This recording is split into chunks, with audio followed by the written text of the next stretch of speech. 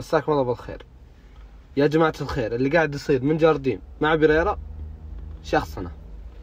خلاص انت عاقبت اللاعب. ضد الرايد خلاص يا أخي. عط اللاعب فرصة خلنا نبرد حرتنا.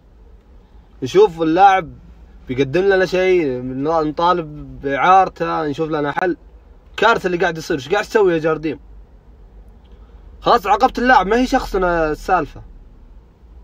يعني لازم كذا يا أنا يا اللاعب. لا والله هو. مستوياتك خايسة مع الفريق. عيب اللي قاعد يصير. إدارة ساكتة. وش السالفة يا فهد؟ شوف لك حل مع الاصلع ذا شرشبيل ضيع الفريق. اللاعب خلاص عاقبته. عطى فرصة يا أخي. اللاعب اعتذر ما كابر عليك. اعتذر لك وقال أنا أخطيت مع المدرب. بسبب ردة فعلي إني ما شاركت في المباراة. عطى فرصة يا أخي عيب اللي قاعد يصير.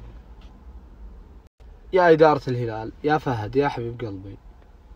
تجلس مع جارديم قل له وش تبي وش تبي توصل له. ما ينفع المهزلة هذه. لاعب جايبه 100 مليون كل المباراة إني مستبعده. دمر اللاعب. يعني حتى لو في عنده شيء بيقدمه بيضيع ذا الشيء. مهزل اللي قاعد يصير.